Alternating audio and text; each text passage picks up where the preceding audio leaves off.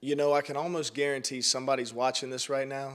You're dealing with pain on the inside. And I'm not talking about physical pain, I'm talking about emotional pain. A lot of people have stuff happen to them through their life that they don't know how to get relief from. But I want to tell you something. Jesus tells us to cast our cares upon Him and to confess our sins to one another. So if you just will go ahead and confess out loud whatever it is you're dealing with, I'm telling you, the Holy Spirit will set you free. Father, I thank you for the person watching this right now.